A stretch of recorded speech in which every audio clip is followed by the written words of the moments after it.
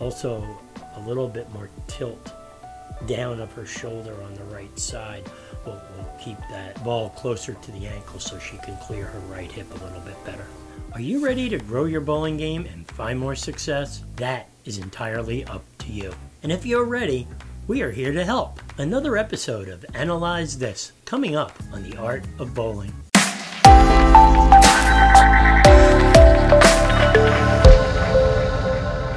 Arthur here, and welcome back to the Art of Bowling, your resource for bowling tips, tricks, and techniques to help you bowl your best. I'll tell you what, I'm really having a blast analyzing all your bowling deliveries, and a lot of Team AOBers have submitted their videos, and they are all queued up for analysis. Thank you for your submissions, and we'll see you on the channel soon. So let's get started with today's episode of Analyze This.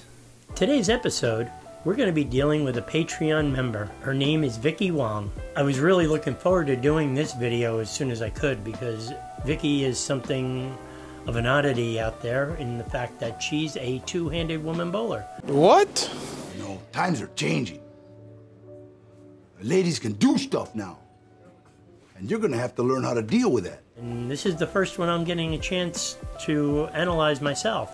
So here we go. Yeah, but the backswing, right? The backswing. Yes. Oh yeah, but the backswing, right? The backswing. Yes.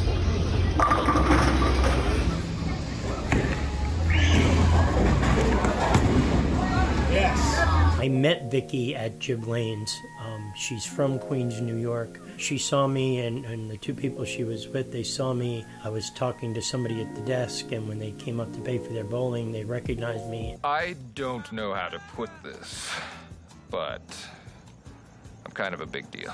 She was a subscriber to the channel. Vicky's timing is very good. Not from the start, but we got her to swing that ball into the swing in the second step. Um, she got it back pretty well.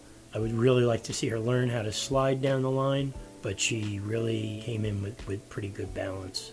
And that's due to everything being in, in a decent place in timing in her swing. That's a great job, Vicky. The problems that Vicky is having, her release of the ball is a little too far away from her ankle. This is due to her getting the ball inside of her head in the backswing. If you look at where she brings the ball back at its peak, you can see how the ball is not lined up underneath her head.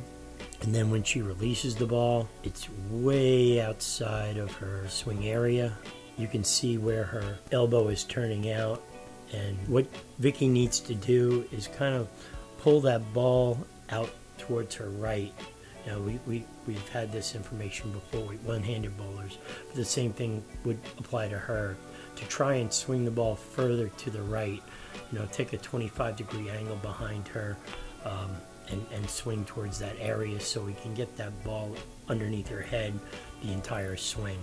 Um, also, a little bit more tilt down of her shoulder on the right side will, will keep that ball closer to the ankle so she can clear her right hip a little bit better. I'll tell you what, Vicky also, as, as a good thing, she stays behind the ball very well. And if we look at her shot go all the way down the lane, um, you'll see how it splits the 8 and the 9 pin um, and, and really drives through the pins. So she is underneath the ball on that strike. And Vicky's problem is more ball speed than anything else, and that's due to the ball kind of pulling her off a, a little bit off balance. Um, but just not being able to, to have it close enough to her body to drive enough power from her hips. Ready to grow your game? Send your videos to our Facebook page, Art of Bowling. If you're looking for more robust analysis from me, join me on Patreon and let's really get to work on your game. Thanks for watching and see you on the lanes.